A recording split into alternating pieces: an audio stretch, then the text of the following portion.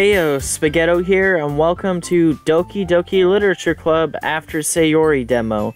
So this one came out just a couple days ago, and I thought I thought I'd give it a try, you know. So new game, so that you don't ha have to play through the whole game to reach the demo.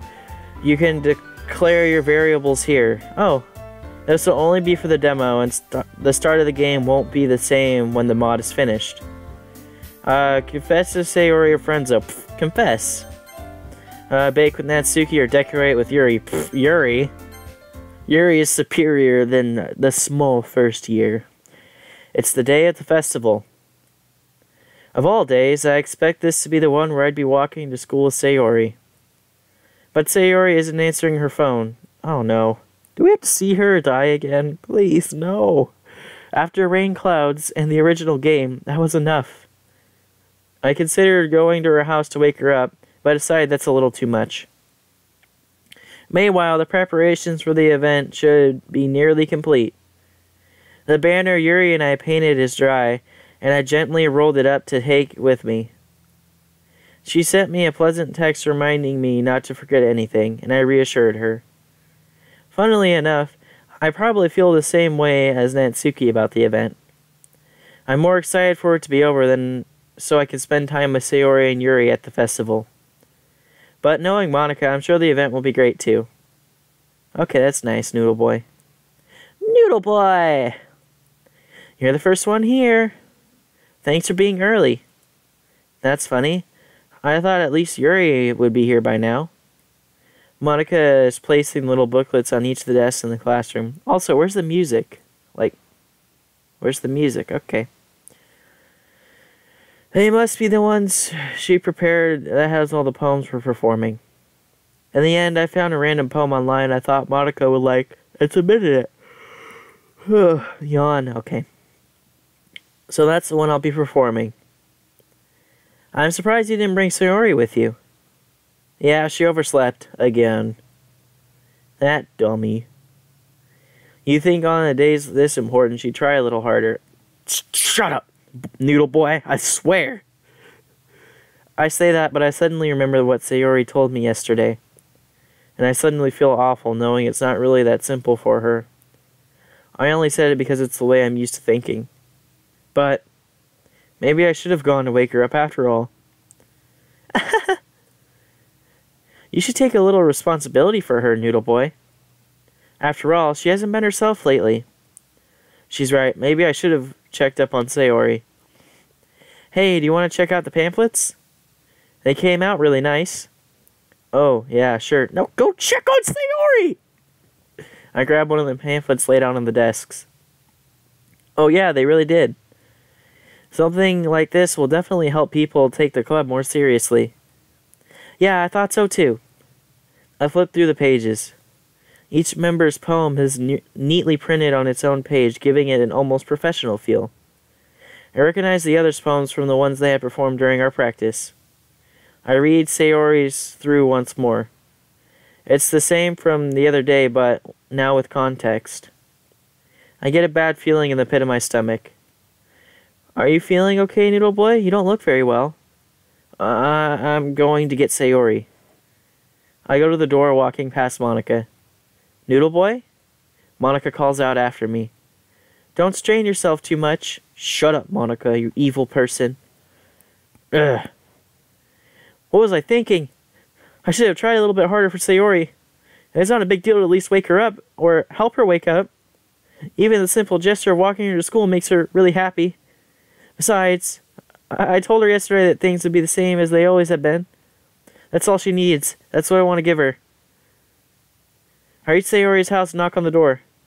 I don't expect an answer since she's not picking up her phone either. Like yesterday, I opened the door and let myself in. Sayori! She really is a heavy sleeper. I swallow. I can't believe I end up doing this after all. Uh, why? Waking her up in her own house. This is something a boyfriend would do. Yeah. In any case, it just feels right. No, it's not right. Outside Sayori's room, I knock on the door. Sayori? Wake up, dummy. There's no response. I really didn't have to enter a room like this. I'm so nervous. Oh, man. Isn't this kind of a breach of privacy? I don't want to see this again. I don't. But she really leaves me no choice. I open, I gently open the door. Say, ah, why? Why am I looking at this again? What the heck? What the heck? Is this a nightmare? It has to be. This isn't real. There's no way it can be real. Sayori wouldn't do this. Everything was normal up until a few days ago. That's why I can't believe my eyes are showing me.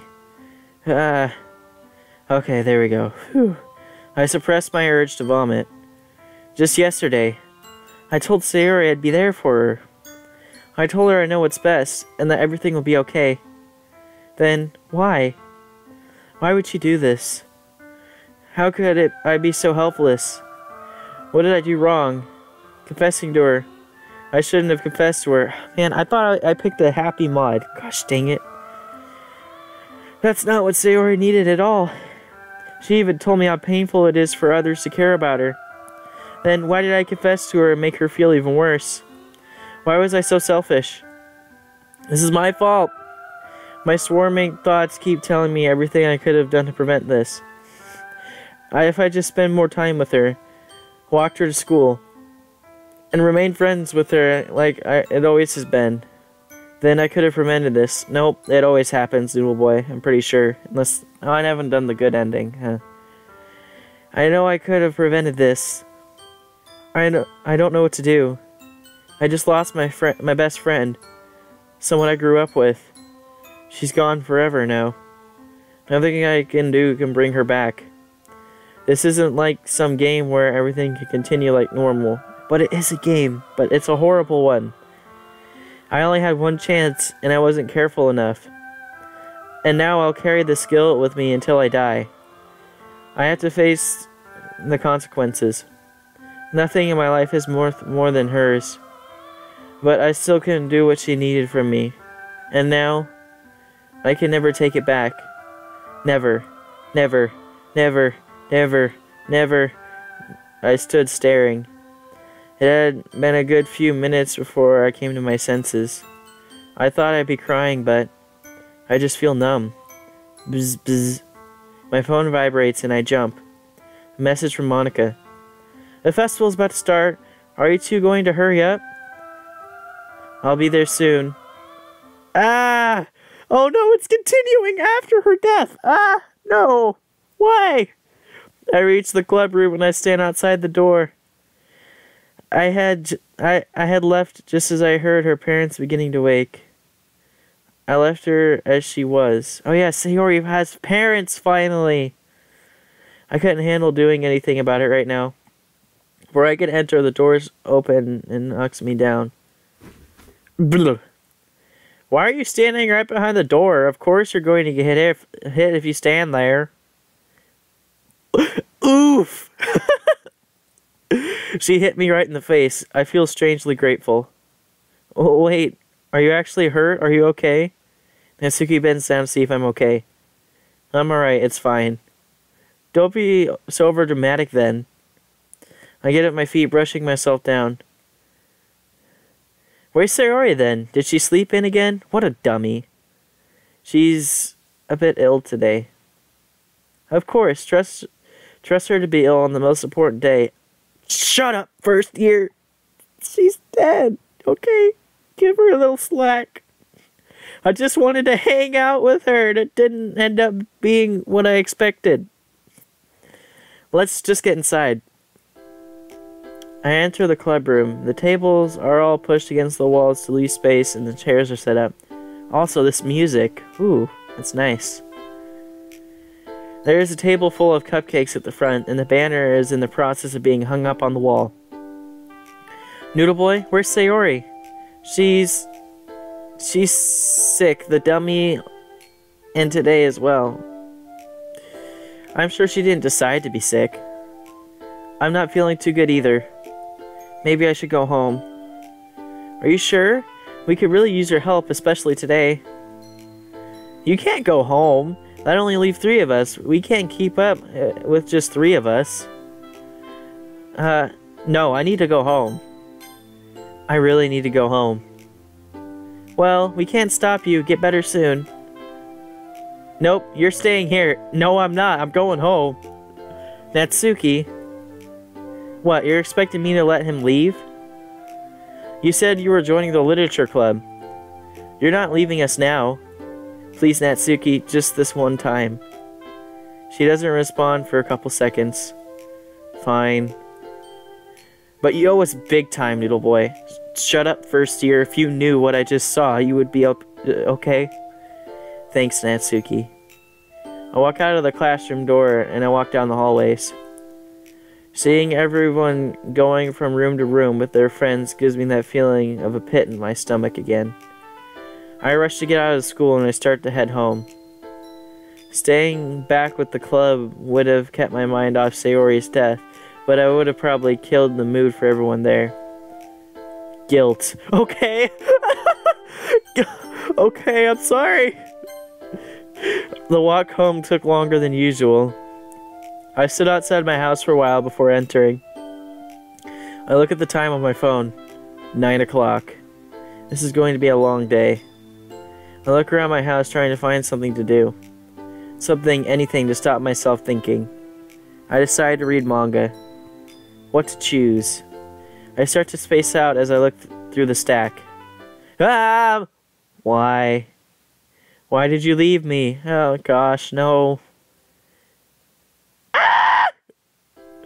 Guilt, okay. I quickly look through the stack of manga I have and decide to read the first volume, Netju no Sume. Time passes quickly when you're reading, huh? It's almost time for lunch, but I'm not that hungry. I finish the volume and decide to watch TV for the next two long hours. I get a message from Monika. The festival is finishing up, and I think that they should know what happened to Sayori. I guess. Wait, how did Monika find out? Expect us there shortly.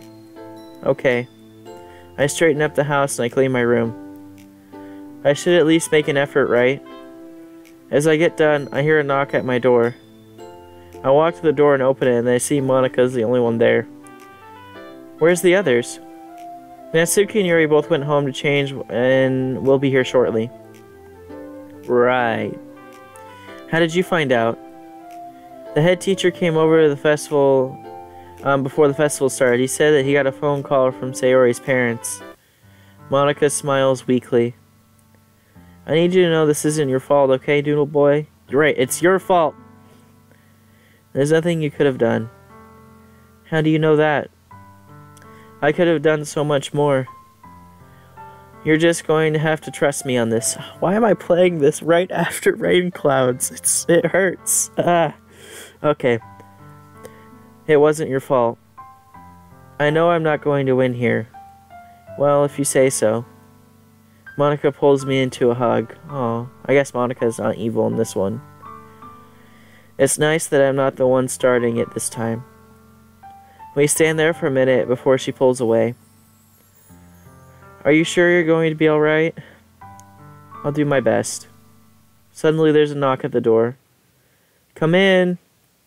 I shout to them, not really wanting you to get up again. Yuri and Natsuki come through smiling cheerfully. Why? It's she's dead. Stop smiling. I feel like the worst person in the world. I'm about to ruin their day. Come in and have a seat. I'll make some tea. I get up and make tea. I thought you didn't want to get up again, Noodle Boy. Make your mind. I then hand it out to the group that are sitting at the table.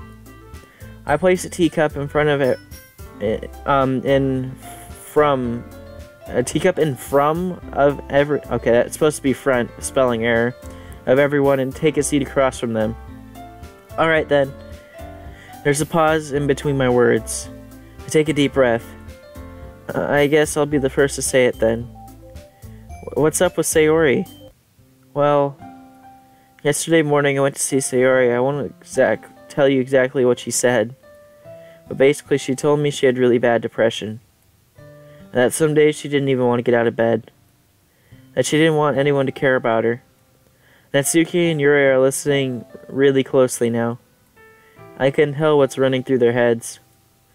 And later on, when she came over to my house, she told me some things. Some kind of serious things. And I thought I knew what was best for her.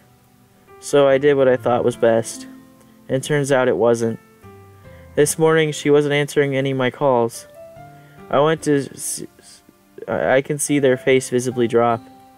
I had to bring all the festival stuff in, so I decided to leave her to wake her up herself. Maybe she just wanted to sleep. I wouldn't have blamed her after the day she had. So I came in. But I should have woke her up. I had a bad feeling and went to her house. She's she's not here anymore. Uh, Sayori would have wanted us to enjoy the festival. I left early not wanting to interfere with you guys. That's why me and Monika are telling you this now. There is a silence in the room for a while until Natsuki gets up and walks to the door. Natsuki, where are you going? Home. But we should all be together right now, right? Yeah, I have to agree with Monika. We need to talk about things. Talk? Your friend killed herself and you want to talk? That's not what I... I'm out. She slams the door behind her before I could say anything. I didn't I didn't mean it like that. It's okay, Yuri. No, I didn't. I need to go too. She opens the door and leaves without closing it. I go and close the door and then I slide myself down until I'm sitting up against the door with my hands in my face. Monika comes and sits next to me. That should not have gone like it did. Please don't blame yourself for anything. If I could tell you how I knew, I would. Just hold tight. We both get up. I open the door for Monika and close it behind her as she leaves. What does hold tight mean? She doesn't think. I do that. I do that. Does she? And how does she know anything? But it's really painful. I have no one to walk home with anymore. I don't have a best friend anymore. I don't know what I'm going to do. I head in my room to write a poem for the next meeting. It's time. Pick the words you think something good, whoever likes your poem the most. Say, ah, ah, ah, I'm sorry. Sayori. I didn't mean to. Sayori. Sayori. Cannot be found. Noodle boy. Bring her back. Cannot be found. Sorry. Bring her back. Noodle boy. Sayori. Uh, Shut up, Monika. End of 290118 demo. Ah. Please give any feedback to the Discord. Thanks for playing. Ah! Getting me all riled up and feeling sad like that, and then you just end the bloody demo. Ah, man. Okay. Uh, well, that was that. Thank you guys so much for watching After Sayori. This was a short little demo, I guess. I didn't know how long it was because um, there wasn't a game length yet because I don't think anyone had really played it much or reported how long it was. So thank you guys so much for watching. Make sure to like subscribe. Check out my other Doki videos. If you want to see something happier, watch Act 5 at least. Don't watch Rain Clouds unless you want to cry for like four and a half days. And as always, um, if you have um, mods you want to recommend, comment them down below or message me on Discord in the description. And as always, I will see you guys in the next video. Goodbye. Bye, Sayori. Uh,